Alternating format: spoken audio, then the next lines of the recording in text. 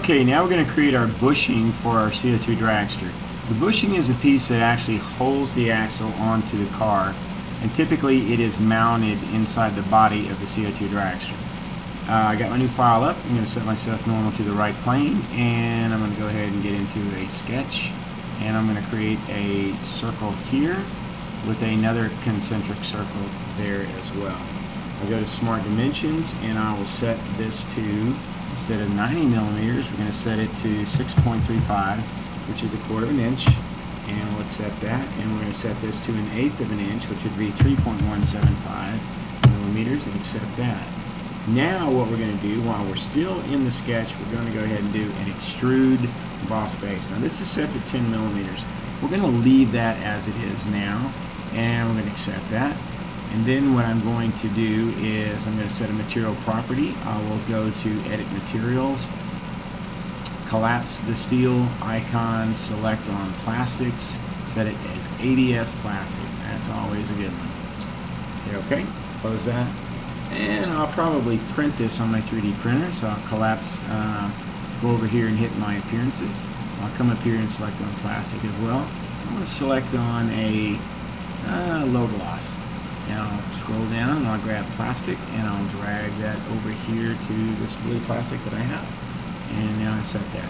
So I'm going to rotate this around, set myself normal to that particular face.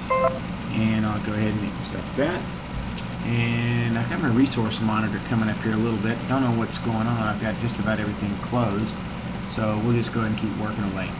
I'm going to set myself a vertical sketch, infinite on the center here. Then I'll come back over here and accept that. And we'll get rid of this.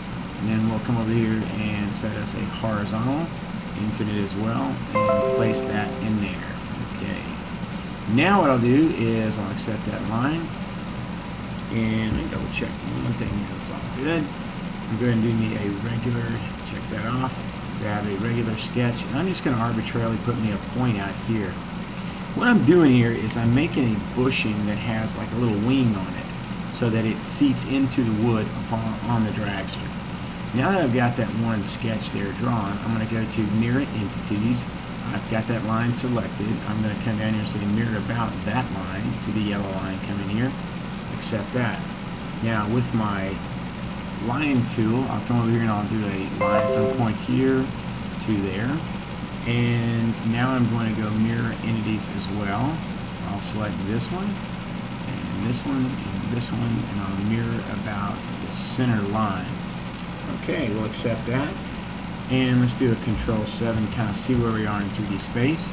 While still in the sketch I'll go to extruded boss base and I will flip the direction and I will flip the length of this to I'm going to say 3 millimeters and I'm going to accept that now, what I'm going to do now is create a fillet, and on a fillet, I'm going to kind of blend in this flat plane here with the circular part of the bushing.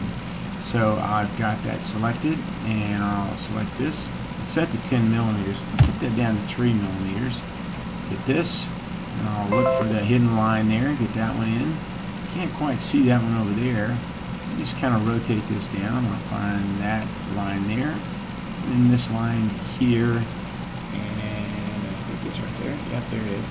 And I'll go ahead and accept that. Now, we've already set this to ABS plastic. Let's go ahead and save this file. I'll do a rebuild first, and I'll save this. So I'm going to call this new uh, bushing parts. Okay. Now, notice that it's, it's, it's 10 millimeters long. Most bushings are not that long. They're only about, about a quarter of an inch or 6.35 millimeters long. We're leaving it long like this in case I need to come back in and reduce the length of it, I can. So we'll go ahead and...